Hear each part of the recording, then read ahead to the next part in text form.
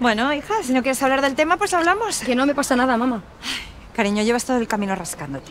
No es verdad. Sí, es verdad. Hija, aunque lleves la mano en el bolsillo, se te nota que te vas rascando. Mamá, por favor. Cariño, ¿has follado? Mamá, es mi vida. Bien, sí, pero lo más importante es tomar precauciones cuando haces estas cosas.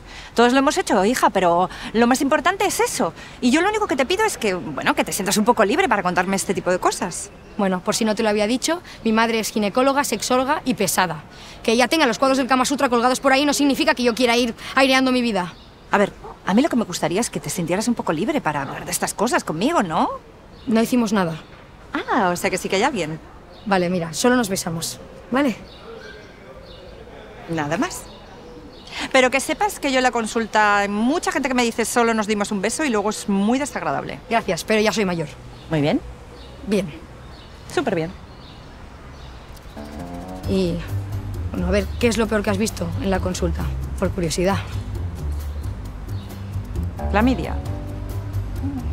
No, ladillas. Sífilis. Suena como el culo. Y gonorrea. Tricomoniasis. Vale, bueno, ya, suficiente. Ya tengo suficiente. Gracias. Si me dijeras lo que hiciste, quizás te podría ayudar. ¿De qué te va a servir saber lo que hicimos? O sea que lo hicisteis. Vale, mira, sí, follamos. ¿Vale? ¿Qué pasa? Joder, es que estás obsesionada con mi vida sexual. No, no, para nada, pero hija, yo es que lo tuyo de verdad no lo veo normal. ¿A qué te refieres? Pues que no lo vives con naturalidad. Bueno, es que no soy como tú y como papá, que vais gritando por toda la casa cuando... No sé, no pueden invitar a un amigo a jugar al parchís porque tengo miedo que te vea en bolas. ¿Y qué?